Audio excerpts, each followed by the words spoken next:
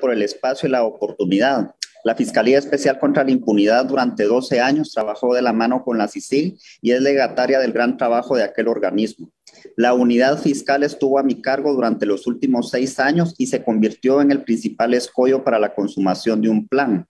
Un plan que fue establecido en las investigaciones que en el último tiempo desarrollé en la FESI y que determinaron los acercamientos corruptos de coordinación para favorecer la impunidad, con la alineación de distintos actores del sistema de justicia para garantizar que eventuales actos de corrupción y graves violaciones de derechos humanos queden sin castigo. Entre estos, el relacionado a las graves violaciones de derechos humanos sufridas por Humberto Ruiz Fuentes y Tirso Román Valenzuela, cuyo esclarecimiento está en grave amenaza de daños. Mi destitución se dio formalmente por haber objetado una decisión de la fiscal general consistente en la designación de una fiscal que tenía impedimento para actuar en los casos que instruyó la fiscal general se le designaran. Esa situación devino de que esa fiscal meses antes había denunciado a la juez que tenía a su cargo el control de varias investigaciones que directamente se le estaban asignando por la autoridad superior de la institución. Como fiscal consideré que la instrucción vertida vulneraba la ley del organismo judicial, los hechos relatados anteriormente prohibían a dicha fiscal actuar en los casos asignados, haciendo uso de una facultad contemplada en la Constitución de la República, que es el derecho de petición, así como el artículo 68 de la Ley Orgánica del Ministerio Público, solicité la reconsideración de la instrucción. No existe en Guatemala ninguna disposición que establezca la prohibición de requerir al fiscal general que reconsidere una decisión. No desobedecí ninguna directriz al contrario, pedí su reconsideración por considerarla ilegal. Si tan solo esa petición, según lo resuelto por la fiscal general, hubiese constituido falta grave, la resolución tendría que haber partido de un acto declarativo de la Junta de Disciplina, luego de haber agotado el procedimiento disciplinario para la carrera fiscal estipulado a partir del artículo 65 bis de la Ley Orgánica del Ministerio Público, procedimiento que no fue agotado.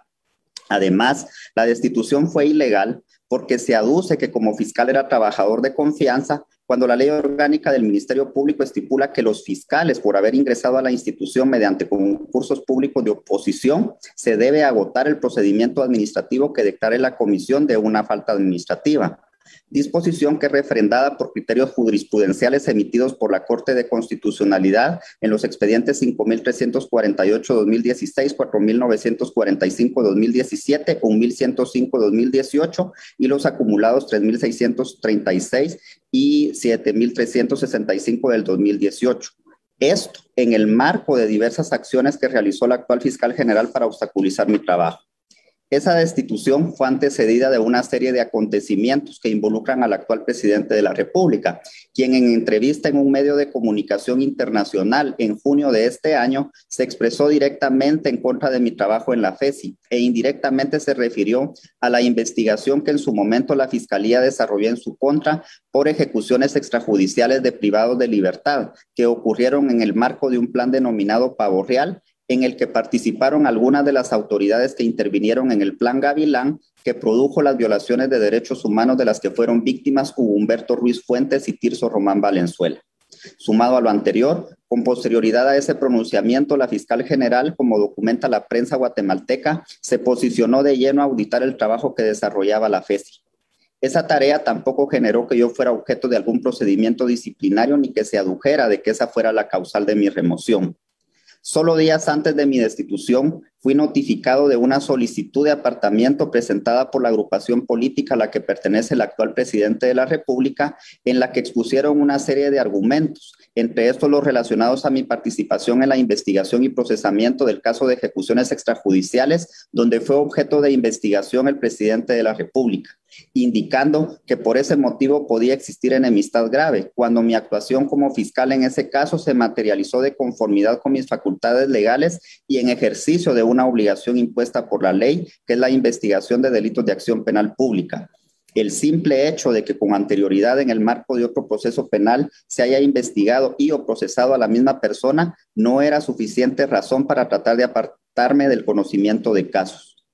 En forma simultánea que se notificaba mi destitución como fiscal del Ministerio Público, la fiscal general realizó un comunicado a la sociedad en la que trasladó a la ciudadanía información distinta a la que formalmente provocó mi remoción ilegal del puesto, indicando que ella había sido víctima de vejámenes por actuaciones que realicé en el ejercicio de mi cargo sin que en algún momento se haya instaurado algún proceso al respecto.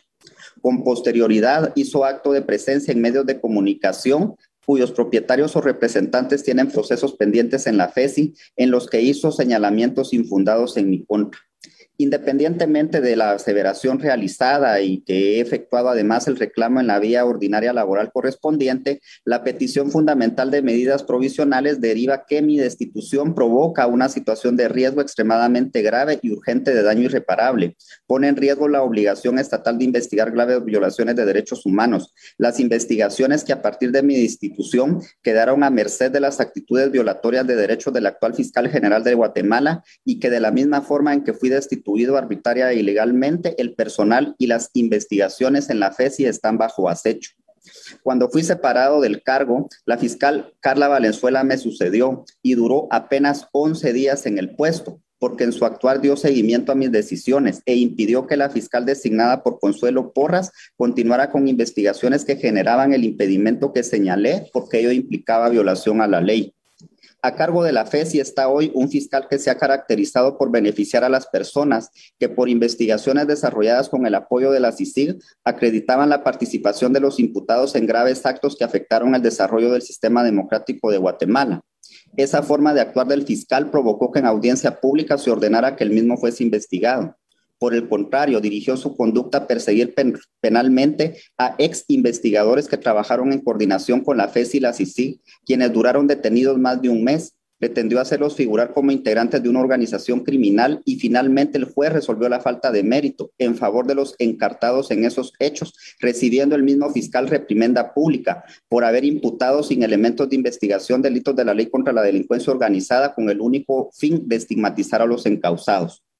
Para el caso específico, debe recordarse que en el momento de los hechos relacionados a las víctimas Román Valenzuela y Ruiz Fuentes, el actual Procurador General de la Nación fungía como subdirector de investigación criminal y ha quedado establecido la decide en la investigación del Ministerio Público en esos hechos, por lo que podría ser objeto de investigaciones en la causa. De esa cuenta, no resulta extraño para quien expone que esa instancia estatal se haya querellado en algunas denuncias planteadas por Fundaterror, persona jurídica que ha planteado más del 50% de las denuncias con las que se me ha tratado de estigmatizar y criminalizar. Entre los hechos más recientes, durante el fin de semana recién pasado se realizaron diligencias de investigación dirigidas en mi contra y del personal de la FESI y apenas anteayer se giraron instrucciones para que los fiscales informaran sobre investigaciones que yo hubiese ordenado contra el actual gobernante, con la constante amenaza de emitir órdenes de captura en mi contra. Ante esas amenazas de independencia en las investigaciones y la obstinada labor de desacreditamiento de mi trabajo y del trabajo del equipo de la FESI y de otros operadores de justicia, se genera peligro para la integridad de las investigaciones, la inseguridad para mi integridad personal y jurídica que inclusive motivaron mi salida obligada de Guatemala. Con mi destitución se ha impedido que la FESI continuara realizando un trabajo destinado a investigar y encarcelar a grandes carteles y organizaciones criminales que por siglos han desfalcado al Estado no es la posición de Juan Francisco Sandoval como fiscal, sino la afectación al trabajo de la FESI por estar conformada por un grupo de funcionarios comprometidos que supimos que llegamos a la administración pública con la creencia fiel en la justicia y que a través de ella se puede transformar la sociedad. Con mi destitución se ha trastocado la esperanza de construcción de ciudadanía, la transformación del sistema a una refundación del mismo, independientemente del drama personal, familiar y profesional que sufro en el exilio. Dediqué muchas horas de mi vida personal al sueño de construir una mejor Guatemala desde la perspectiva judicial y además de haber tenido a mi cargo los casos de más alto impacto en la historia de mi país, la retribución que he recibido ha sido la separación de la gente y del amor más grande que es mi patria. El destierro ha representado uno de los más duros castigos porque abandonar forzadamente la tierra donde quedó el ombligo resulta una crueldad irreparable para palabras de la columnista Nabela Yiraca y traslado la palabra a la abogada Gisela de León.